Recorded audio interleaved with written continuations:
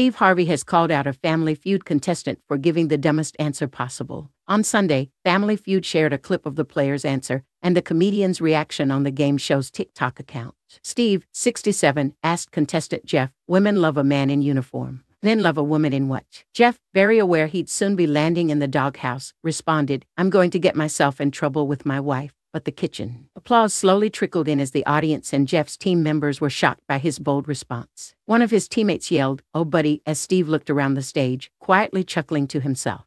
He finally said, Jeff, I got to tell you. The player interrupted as he freely admitted, I'm not going home. Steve continued, That's about the stupidest thing you could have said. In the post comment section, fans scolded Jeff for his subpar answer. One person wrote, Nothing, bikini, dress, come on, Jeff. Definitely divorced, added another. Divorced, asserted a third. A fourth fan joked, and he was never seen again. One commenter asked, Did you notice the guy stepping back?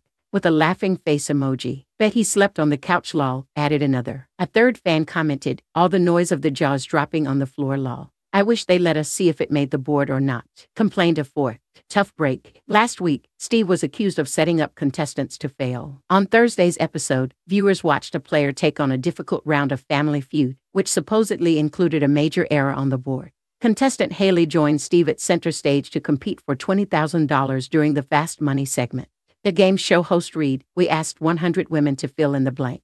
When I see something I want, I blank for it. Haley froze as she struggled to come up with an answer. I pass, she said while tightening her eyes. Steve then asked for a word that rhymes with wink, then to name a type of cheese with a funny name, and finally he told Haley to pick something else that gets caught in a tree besides a cat.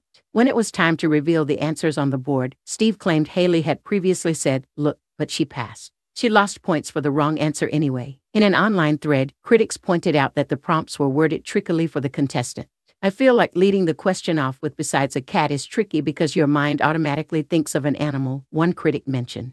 Those were some really hard questions. Another critic added, This fast money was set up to be tough to win, a third critic suggested. Never said, Look, are they just throwing in a random answer for no reason whatsoever? A fourth person wrote, Fairly hard questions and slow answering contestants. A bad combo for Steve, a commentator chimed. Be quiet. Recently, Steve warned a contestant to be quiet after they gave an answer that shocked everyone. During the fast money round, Steve asked player Susan, name an annoying creature that you wish would hurry up and become extinct. With only 20 seconds on the clock to answer five questions, Susan said the first thing she thought of. Dog, she blurted out.